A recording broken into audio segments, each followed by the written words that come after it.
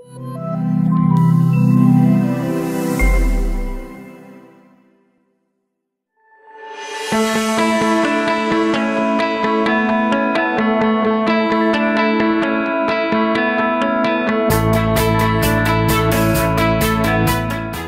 datang di Pengadilan Negeri Curug. Pengadilan modern selalu menjaga kemandirian, integritas, kejujuran, akuntabilitas, dan melayani dengan ramah serta sepenuh hati.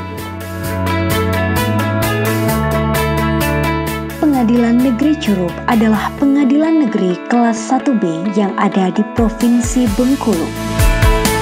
Pengadilan Negeri Curug sebagai salah satu badan peradilan tingkat pertama di bawah Mahkamah Agung yang wilayah yuridiksinya adalah Kabupaten Rejang Lebong yang terdiri dari 15 kecamatan. Wilayah yang dikenal dengan kopi, udaranya yang sejuk, dan alamnya yang indah.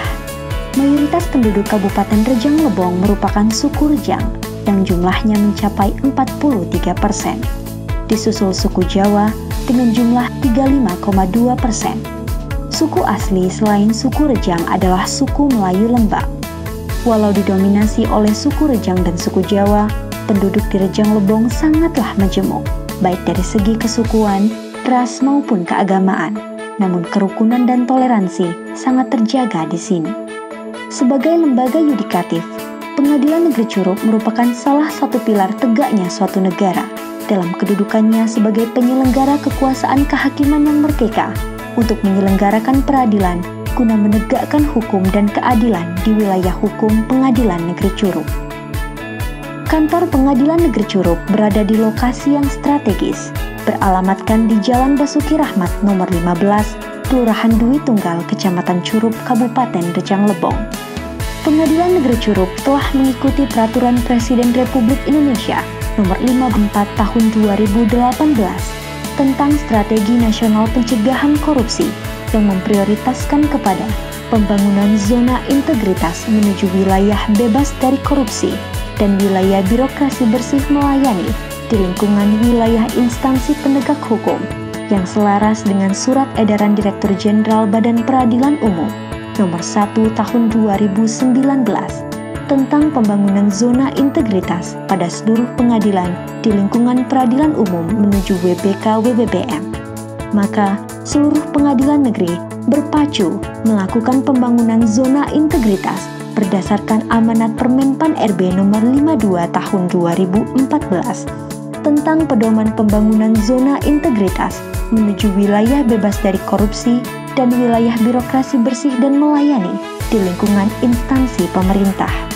Peningkatan kualitas dan akuntabilitas organisasi yang bersih, bebas dari korupsi, kolusi dan nepotisme serta meningkatnya kualitas pelayanan diharapkan menjadi tujuan demi pembangunan zona integritas guna mendukung reformasi birokrasi yang bertujuan membentuk birokrasi kelas dunia atau world class governance.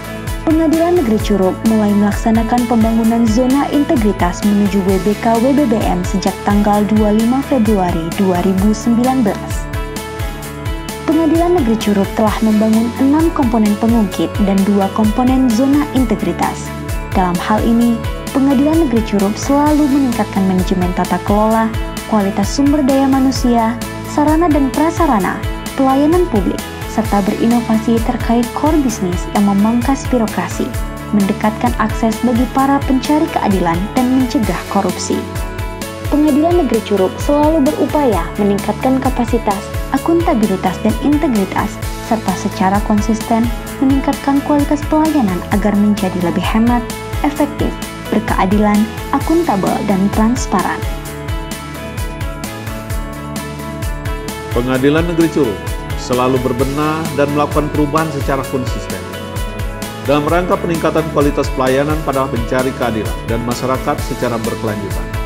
Hal ini ditandai dengan banyak prestasi yang diraih oleh Pengadilan Negeri Curug, antara lain secara konsisten meraih akreditasi A Excellent sejak dari tahun 2017 sampai dengan sekarang. Peringkat pertama, pelaksanaan mediasi di peradilan pada kategori peradilan umum kelas 1B. Peringkat kedua, kategori pelaksanaan gugatan sederhana pada peradilan umum kelas 1B. Kemudahan-kemudahan pelayanan yang kami lakukan didukung oleh inovasi yang menjangkau langsung ke peningkatan kualitas pelayanan kepada pencari keadilan dan masyarakat Rejang Lebong. Hal ini tidak bisa lepas dari kerja keras dan kerja bersama keluarga besar Pengadilan Negeri Curug. Salam hebat. Mahkamah Agung Maju Badilum TAPM, THPM Integritas. Pengadilan Negeri Curug.